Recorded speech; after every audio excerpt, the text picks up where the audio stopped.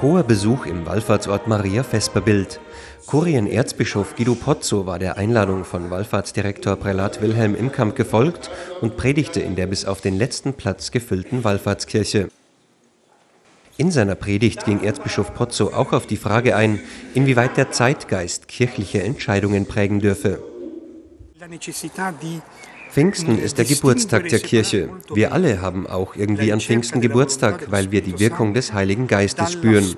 Und der Heilige Geist ist nicht der Zeitgeist. Wir dürfen nicht die Botschaft der Kirche vergessen, um uns der Zeit anzupassen. Zeitgeist und Heiliger Geist, das geht nicht zusammen. Im Anschluss an den Gottesdienst machten sich die Gläubigen auf den Weg. Auf den Weg über den Schlossberg hin zur Mariengrotte. Jedes Jahr kommen tausende Gläubige nach Maria Vesperbild, um ein Teil dieser Prozession zu sein. Es ist ein Pfingstausflug der besonderen Art, der die Menschen spüren lässt, Teil einer großen Gemeinschaft zu sein. Es ist äh, super schön und, und auch erfrischend, herzerfrischend. Das ist einfach eine Ehre Gottes. Das ist eine schöne Sache. Es ist ja wunderbar, kann man sowas nicht auslassen. Wir sind ziemlich am Schluss gelaufen, aber es ist immer recht besinnlich. Ja, also ich bin da immer ein bisschen in mir.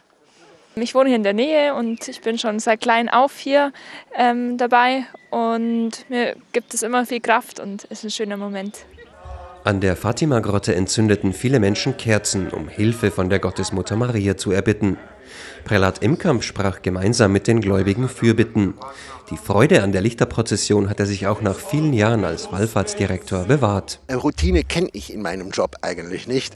Und dieses Jahr war es natürlich besonders angenehm, weil ich wusste, es kommt ein guter Freund aus Rom, mit dem wir schon viel, seit Studentenzeiten viel erlebt haben, sodass ich ganz relaxed war. Manchmal, wenn es etwas anders, andere Gäste bin ich schon etwas angespannter. Aber Routine ist nie. Nach dem Abschluss der Wallfahrt segnete Erzbischof Pozzo noch alle anwesenden Gläubigen und dann ging es zurück zur Wallfahrtskirche.